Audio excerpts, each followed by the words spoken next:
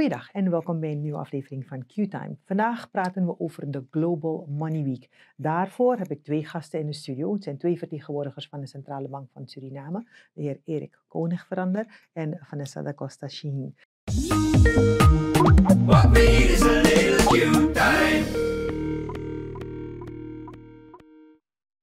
Welkom in de studio. Dank je. We gaan uh, praten over de Global Money Week, wat een jaarlijks terugkerend evenement is. En het is, als ik me niet vergis, is het uh, global. Hè? Het is echt internationaal. Mm. Wordt er rond dezelfde periode um, elk jaar aandacht besteed aan, um, aan ja, eigenlijk uh, het meer bekendmaken van uh, geld en alles wat hoe er met geld... Hoe je goed omgaat met geld. En het, een van die spannende dingen van die Global Money Week is dat het, zoals je al zei, um, wereldwijd tegelijkertijd wordt gevierd. Dus ja.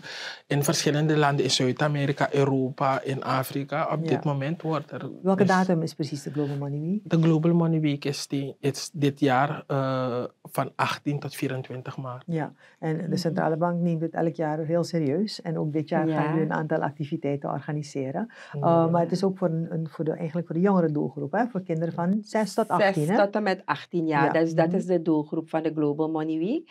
En de centrale bank doet dit jaar dus voor de tiende maal mee. Mm -hmm. En we hebben ook uh, heel wat activiteiten.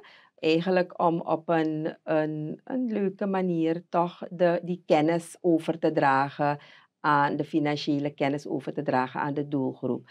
We hebben uh, voor de leeftijdscategorie 6 tot en met 9 jaar hebben we een spaarpottenwedstrijd. Waarbij ze dus zelf een, uh, hun eigen spaarpot moeten maken, liefst van uh, recyclemateriaal. En daarnaast is er voor de leeftijdscategorie 10 tot en met 14 jaar een budgetteringstraining. Waarbij van verschillende scholen vijf vertegenwoordigers naar de bank toe komen, de training volgen met de bedoeling dat ze dus teruggaan naar de school en het ook overdragen aan de anderen. En daarnaast is er ook in het Numismatisch Museum een uh, speciaal ook voor de Global Money Week een nieuwe expositie die ook gericht is eigenlijk op uh, beetje de geschiedenis van het geld. Uh, hoe ging men vroeger sparen, hoe doet men het nu enzovoort. Hoe ging men vroeger uh, budgetteren en hoe doen we het nu en ook de verschillende producten. Vroeger hadden we die digitale, al die verschillende digitale financiële producten niet. En dat, dus dat uh, gaat eigenlijk uitgebeeld worden bij de expositie. Ja. En verder zijn er nog drie leuke wedstrijden. Dat is voor de leeftijdscategorie 15 tot en met 18 jaar. Een van ze is een gedichtenwedstrijd waarbij dus de de deelnemer een gedicht moet schrijven dat gerelateerd is aan het onderwerp van de Global Money Week. Uh, het onderwerp is Protect Your Money, Secure Your Future. Ja, dat is en, het thema, dus ja, het algemene het thema. ja. Mhm. het algemeen thema. En uh, uh, hun, hun, gedicht natuurlijk moet dus gerelateerd zijn aan het, aan het thema. Verder is er ook een uh, speurtocht, een mhm. financiële educatiespeurtocht, die uh, vijf dagen zal duren. Op, op maandag 18 maart krijgen dus bij de registratie de deelnemers hun pakketje met opdrachten. En dan kunnen ze lekker aan de slag. daarvoor moeten ze bij, naar bepaalde financiële instellingen ook gaan om informatie op te vragen om zo hun opdrachten te kunnen oplossen. En dan vrijdag moet het dan ingeleverd worden. Er is dan een derde wedstrijd ook voor de doelgroep 15 tot en met 18 jaar. En dat is een online videofestival. En uh, net zoals uh, bij, bij het gedicht moeten dus de deelnemers een, hun eigen video maken met afgeleid van het thema. Ja, toch? Je kan van het thema heb je zoveel, kan je zoveel onderwerpen uh, afleiden. Maar de bank zal ook van, uh, het is, dit is eigenlijk van twee kanten, dus dit online videofestival.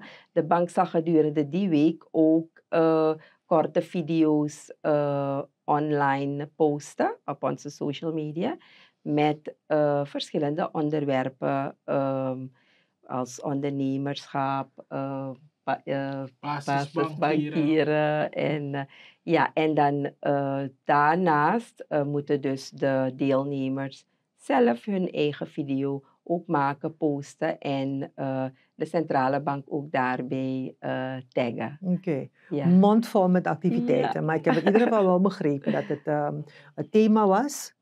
Ook alweer, help Protect your money, secure your future. Protect mm. your money, secure your future. Yeah. Oké, okay. bescherm je geld en wees zeker van je toekomst. Ja. Vrij vertaald. Mm -hmm. ja. Oké, okay. jullie hebben dus de activiteiten verdeeld voor drie leeftijdscategorieën: mm -hmm. 6 tot 9, 10 tot 14, 14 en 15 tot 18. 18 ja. En al, al deze informatie is terug te vinden op jullie uh, social, social, media, media ook de criteria. de criteria. Wat ik wel een belangrijke vraag vind is: hoe kunnen uh, kinderen meedoen? Want ik heb wel gehoord dat je zei van uh, sommige scholen, dus hebben jullie scholen ja. geselecteerd, maar bij de videowedstrijd mogen, neem ik aan, de leeftijdsgroep van 15 tot 18 zichzelf uh, aanmelden. Dus ik wil wel weten hoe dat de deelname uh, Ja, inderdaad. Bijvoorbeeld bij het online videofestival moeten de mensen uh, zich registreren. Mm -hmm. En ze moeten dus online hun video inleveren. Ja. Uh, bijvoorbeeld bij de speurtocht mogen ze online hun uh, team, want bij dat speurtocht is het zo dat je dus een groep van twee ja of vier mensen, dus tussen een groep van twee, tussen, tussen twee en vier mensen mag registreren. Je mag een groepsnaam bedenken en online registreren. Ja.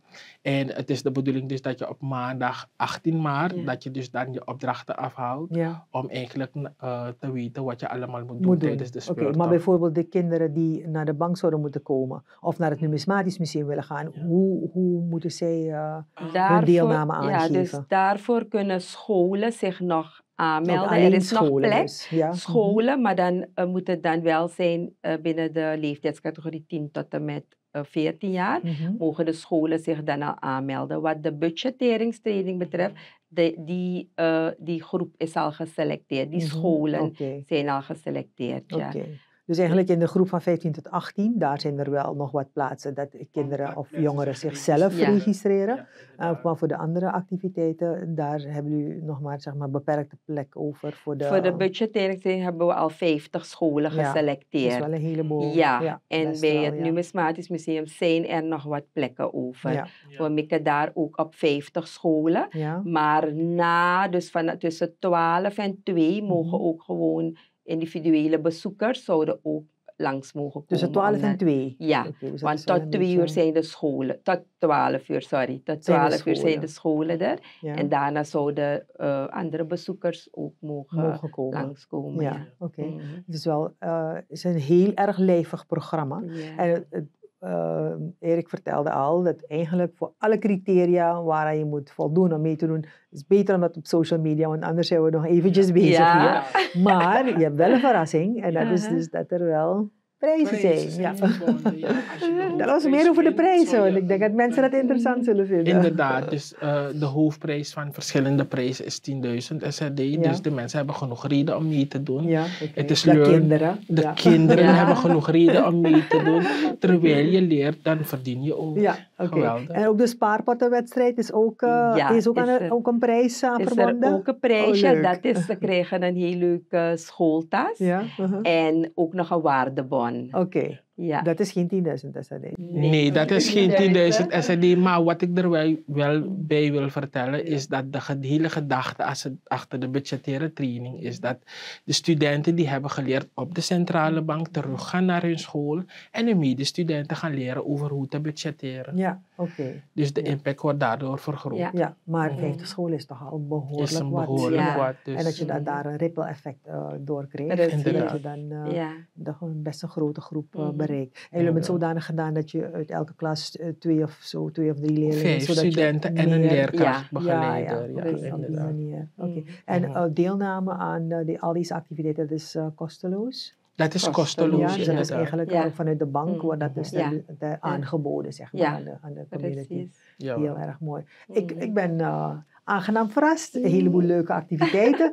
Dus we moeten de mensen verwijzen naar jullie social media's, omdat oh. daar uh, alle informatie staat. Want uh, dit is echt maar, uh, zeg maar, alleen de aankondiging. Ja, alleen de aankondiging, inderdaad. Ja, nou, de bank zal behoorlijk op stelte gezet worden met alle kinderen en jongeren activiteiten vanaf de 18e. Ja. mag ik jullie bedanken en heel erg veel succes toewensen met de leuke activiteiten. Het is mm. zo fijn zijn als we niet alleen maar tijdens Global Money Week zulke leuke dingen aan de kinderen kunnen aanbieden. Dus neem dat mee. Ja, het programma van de bank. zeker van plan, ja. ja. Oké, okay, goed. Nou, hou ons op de hoogte. Ja. Oké, okay, Vanessa, Erik, uh-huh. dankjewel. Succes met de activiteiten in verband met Global Money Week. Dankjewel.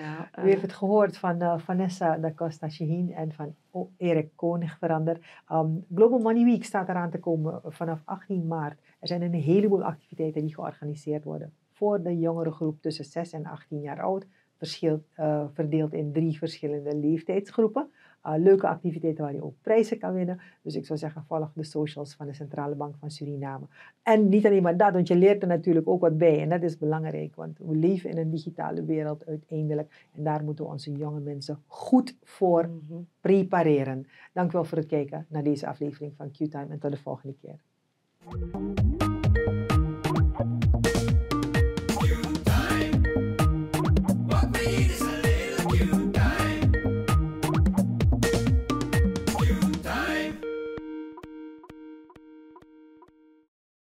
This is another Supreme production. Supreme TV. To entertain, to inform, to inspire.